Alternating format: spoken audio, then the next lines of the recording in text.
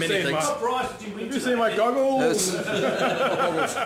Uh, the best moment, um, South Loop this morning, until Cole's bike clapped out on. Dodgy old thing. That's a bit harsh. The bike or Cole? The Cole. Yeah, yeah. Uh, worst moment, poor Stu. Back next year, good ride, happy days. Best moment. Um, Cole's already said it. Being here with everyone. Yeah. Great year. Big learning curve. Very sore, very tired, but we'll definitely be back next year.